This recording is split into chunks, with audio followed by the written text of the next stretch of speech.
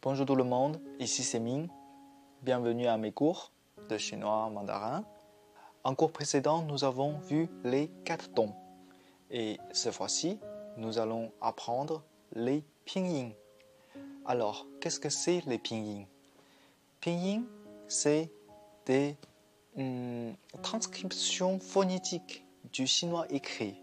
Il contient des consonnes, des voyelles et ses fameux tons. Donc, pour faire plus simple, le pinyin, c'est la prononciation. Voilà. Alors, personnellement, la prononciation chinoise est bien plus dure que la écriture chinoise. Ce que je veux dire par là, c'est que vous n'entendez pas votre propre prononciation quand vous parlez, mais vous pouvez voir votre écriture en écrit. De plus, il existe de nombreuses combinaisons avec leurs quatre tons. Il y a de grandes chances que vous trouvez ça difficile à assimiler. La prononciation chinoise est complètement différente que la prononciation française. Il ne faut pas s'appuyer sur des ressemblances de la prononciation.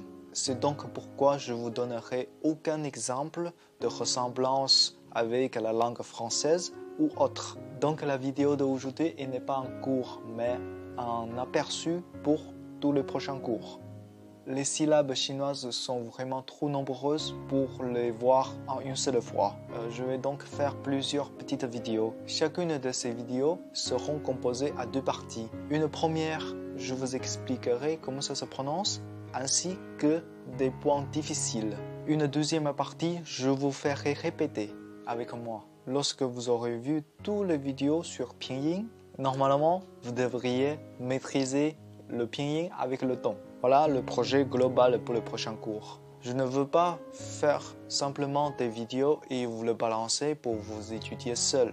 Mon but est de vous aider au mieux. Donc j'aimerais que vous me laissez vos avis sur ces cours. Voilà, c'est tout pour aujourd'hui. Préparez-vous pour les prochains cours. Révisez bien encore vos tons et je vous dis à la prochaine.